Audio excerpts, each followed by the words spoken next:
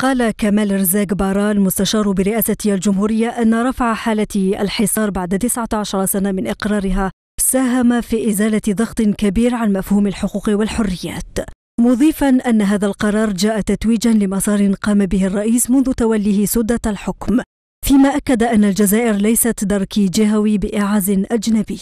العديد يظن أن قصد الجزائر أنها تكون الدركي الجهوي بإعاز من بعض الدول vous êtes un pays pivot, vous êtes la puissance régionale, vous êtes كذا إلى آخره رئيس الجمهورية في هذه النقطة أن أكد لكم بارد الأعصاب يعرف جيدا أن المغزى من هذا الكلام هو أن تتورد الجزائر في على كل حال متاهات نحن في غنى الجيش الجزائري والأمن الجزائري يحافظ على استقرار الوطن.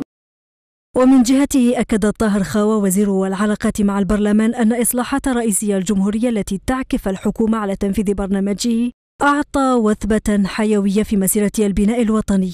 تحققت بفضل الإصلاحات السياسية والتنمية الوطنية الشاملة العديد من المكاسب الوطنية في كافة المجالات السياسية والاقتصادية والاجتماعية.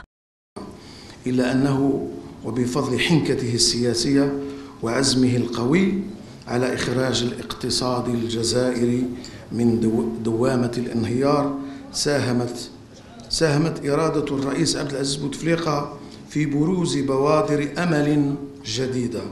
وقد أجمع المتدخلون خلال اليوم الدراسي المنظم حول إصلاحات رئيسي الجمهورية أن المراجعة الشاملة للترسانة التشريعية التي تبناها الرئيس على أنها تعميق للمسار الديمقراطي وعقلنته خاصة تلك التي شملت مراجعة القوانين المنظمة للنشاط السياسي مما سمح بحماية الوطن من مخاطر الانزلاقات والمزايدات الإيديولوجية والسياسية والمؤامرات الخارجية.